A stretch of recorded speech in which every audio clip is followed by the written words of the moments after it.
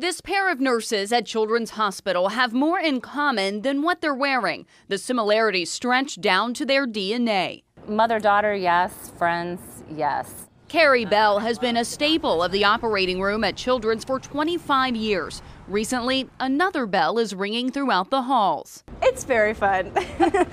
Everyone's like, oh my gosh, I could never work with my mother, but we do it pretty well. Maddie Bell just graduated nursing school, inspired by her family's history in healthcare. Having a grandma and a mother as a nurse, I uh, loved all the stories they would tell me when I was growing up. The generational connection took on a deeper meaning as the world faced a medical crisis. The stress of COVID 19 felt in hospitals across the country. While some nurses decided to leave, Carrie says the pandemic strengthened her resolve. You need people like us to make a difference. While the pandemic has been difficult, and I think it'll continue to be difficult, if we didn't stick with it, where would our hospital system be?